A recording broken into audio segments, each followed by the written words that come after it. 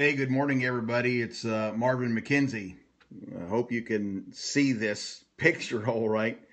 Uh, this came from uh, Mike Hobbs' uh, scope yesterday morning on action uh, plans to get leads. Uh, and so he started out. I tell you what, I had to watch that that scope five times. I think it was. um, not even sure I got all of it after five times. Just wanted to, you know, just wanted to get it over and over. That idea of the bucket on the right hand, the long term, even better results, and the on the left hand, and then on the right hand, the bucket results now kind of thing. I wanted saw that thing and thought that was interesting. But he started out with this picture. This was how he started out: stay on designated trails. and uh, so I saw that several times over the day, and and just thought it was interesting, you know, that he started out that way. You know, there's a lot of wisdom right there in that phrase stay on the designated trails. I know I live in Washington State, and uh, very often we're uh, my wife and I'll go on hikes and so forth, and and and very often we see this very same kind of sign: stay on designated trails.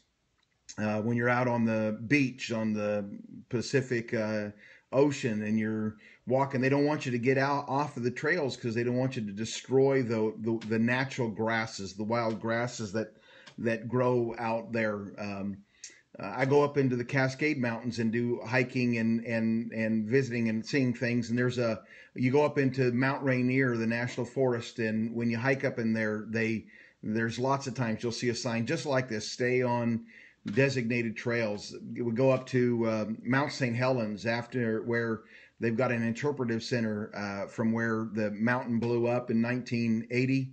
And uh, so you can go up there and see how things have progressed, what's gone on in, in nature uh, since that absolute, de- uh, you know, absolute devastation that took place back in 1980. And but they want you to stay on the designated trails, and uh, they want to make sure you stay on those trails um, so that the, the ground, so that you don't spoil and uh, mess up uh, what nature is doing over all of these all, all of these years. And and there really are uh, several reasons. Kind of, they don't want you off the trails, and one of the reasons is for the safety, for the for the the nature factor to keep the keep nature in good shape and keep things like you know the plants and all of that in in good health.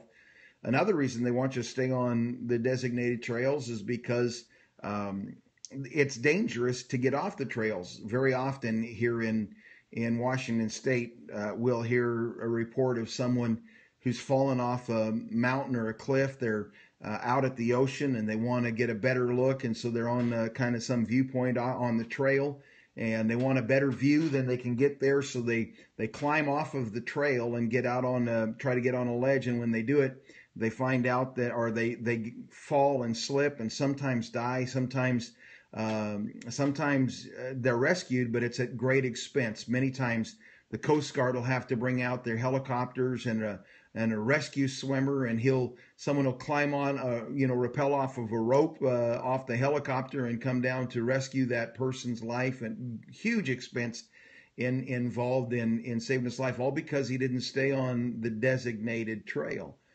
uh, they want you to stay on the designated trails um, uh, for the safety of the property and for your own personal safety. They also want you to stay on the designated trails because it was designed that way. They designed trails for for people to walk on, and you get off of those trails, and um, and you're getting away from the plan that was that was designated, the plan that was that was set up. You know, I just got to thinking about that. Isn't life this exact same way? Um, life is lived better when we stay on designated trails. Uh, when we stay on the plan that um, that is moral and a plan that is um, that has truth behind it, um, it's always going to be better. It's going to it's going to be better for uh, those around us.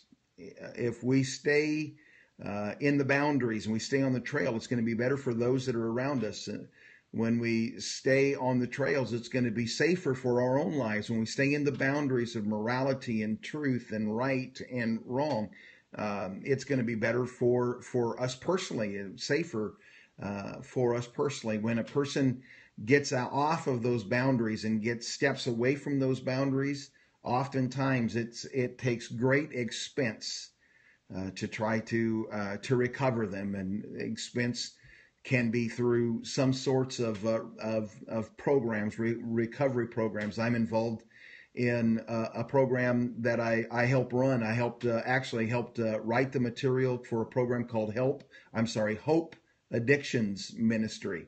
And uh, so I travel around the country and I speak at conferences that have to do that are involved with the Hope Addiction, Addictions Ministry.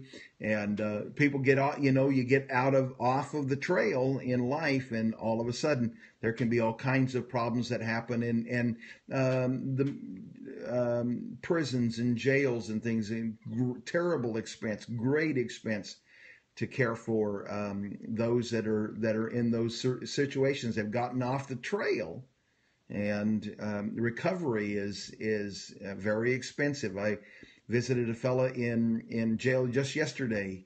He said that the uh, population at the jail was uh, I don't remember um, it was it was uh, overcrowded by one quarter of the population the building was planned for and um, each person that was there, uh, it costs they or they I shouldn't say costs. They receive the jail receives hundred dollars a day per inmate um, just to be able to operate in in this jail system and great expense there. And and then also just um, you know because we our creator gave us a plan. And when we get off that plan uh, we ought to just stay on the plan because he gave us a plan. And uh, just because that was the way it was designed. And we operate better and we'll do better when we stay on the plan. And just um, stay on the designated trails. I just saw this sign, thought it was great. I even thought about that pets on a leash thing, keep your pets on a leash.